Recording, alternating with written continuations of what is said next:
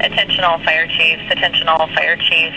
NAWAS has issued a red flag warning for thunderstorms producing abundant lightning. County, this will be in effect 11 a.m. Tuesday through 11 p.m. on Wednesday. And the seven angels who had the seven trumpets prepared themselves to sound them. The first sounded, and there came hail and fire mixed with blood, and they were thrown to the earth. And a third of the earth was burned up, and a third of the trees were burned up, and all the green grass was burned up. Revelation. Here's the road up where the fire started. You can see uh, there's been a lot of traffic on this road. A lot of resources were thrown at this fire. We'll just go ahead and go on up there and check it out. Should be no wonder why this fire burned so hot up here. Look at the fuel load. Look how many trees there are and how close they are together. That is a tinderbox. So right here is where it started. Anytime there's a fire close by near a road, arson is uh, almost always uh, suspected. You know, someone who's deliberately started it or uh, thrown a cigarette butt out or something. The yellow tape right there is uh, basically wildland crime scene tape. They've cordoned that off there so the investigators from the Forest Service could come and take a look at it, see if they could find any um, possible ignition sources or, or whatever it was. Burned hot up the hill there. We'll go up on top and see where it really got cooking. Here's one of the fire dozers we used um, on this fire. That's a big old dresser. That's bigger than the one I used to have set up for fire with Pulaski in the back and dual fire extinguishers. That right there saved the day, I'll tell you that. So here we are. The ignition point was down the hill there and burned up the hill. Hot.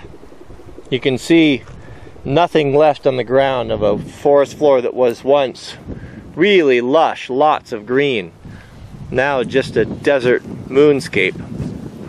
You can see that the flames were high. The trunks burnt and the, the pine needles burned up there 75 feet or so.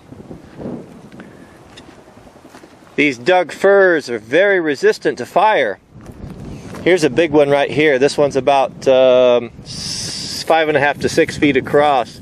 You can see their bark is thick. And even though this tree was scorched, and its bark burnt in pretty deep here, there's a chance that it could survive. A real good chance. They're, they're extremely resilient. You can see that the sawyers have been in here and they'll fall all of the what they call killer trees right here. This would have been a, a snag that was burning and they'll label them. This is pretty much the universal tape there. Killer tree. So several snags around here there's a couple more that they haven't taken down yet. Uh, all of this timber they put down uh, because it's dangerous. It could fall on someone. The rest of these trees most likely will survive.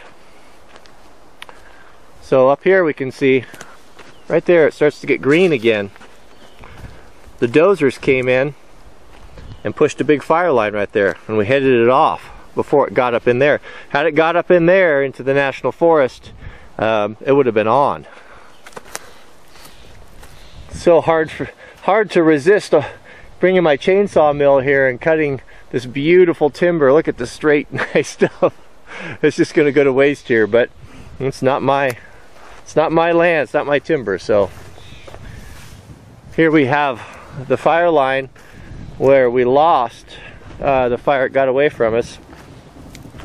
Actually had some tenders and engines parked right here. We're trying to contain it and it uh, blew over. The trucks had to really scramble to get out of the way to keep from, and that fire just make made a strong run up that hill there. You can see where it's all burnt again, and got the hand crews and the dozers and engines up there and, and got it stopped a second time. But uh, real touch and go. Thankfully, the aerials came in and lend a hand as well because we don't have hardly any water up here. But here you can really, really see it. It's very interesting, isn't it? Boy, that's a nice tree there. I'd like to take that one home. Look at that, straight as an arrow. There's a whole timber frame cabin in this tree right here. Just this one tree. What we could do with that, huh guys?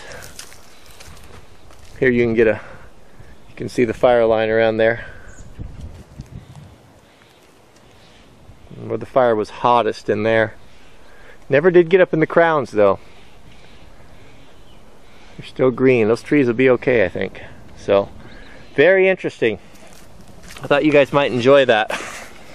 I kind of like to come up here and look at them afterwards and just look at the topography and how we attacked it, how we could have better attacked it, lessons learned, the right things that were done right, mistakes that were made.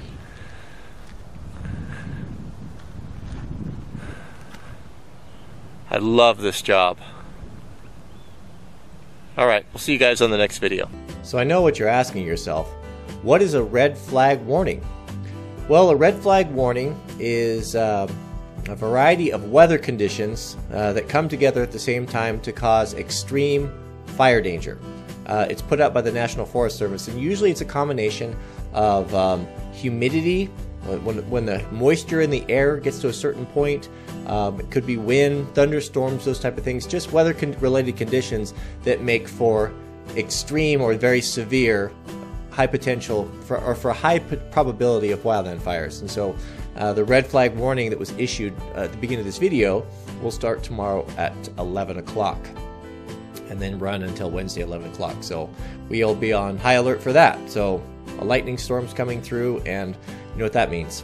When lightning hits the ground, it can start a fire immediately or it can smolder and start up uh, as long as uh, two weeks in the future or as far as. So, so uh, if you enjoyed this video, please take a moment and click the thumbs up.